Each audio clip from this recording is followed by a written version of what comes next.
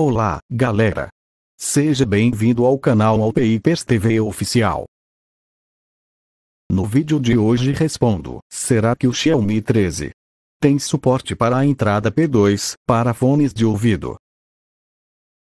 E a resposta é, não. O Xiaomi 13 não tem suporte para a entrada P2 para fones, assim o ideal é utilizar fones Bluetooth. Antes de acabar esse vídeo, assista aos outros vídeos do canal. Temos várias playlists de smartphone para tirar as suas dúvidas.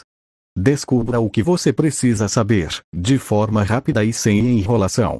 Temos playlist do Galaxy S20 FE, Galaxy A02, Xiaomi Poco F3, Moto G60, LG K22 e muito mais. Deixe o seu like aí por favor, e inscreva-se no canal, e até mais.